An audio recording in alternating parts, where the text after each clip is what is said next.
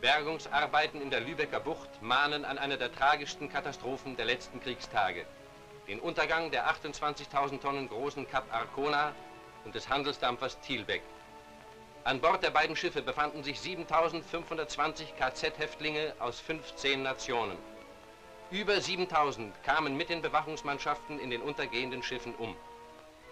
Obwohl die alliierten Truppen bald nach der Katastrophe die Küste besetzt hatten, konnten nur 380 gerettet werden.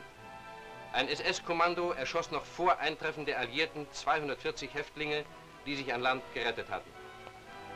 Etwa 2000 Leichen wurden bisher angeschwemmt. Tausende befinden sich noch an Bord. Unter der Leitung eines englischen Offiziers sind an der Unglücksstelle Taucher am Werk, um diese Toten zu identifizieren.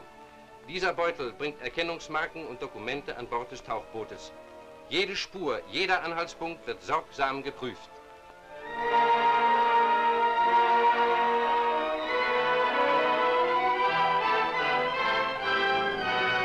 Dieser Korb enthält Überreste, welche zur Identifizierung beitragen können.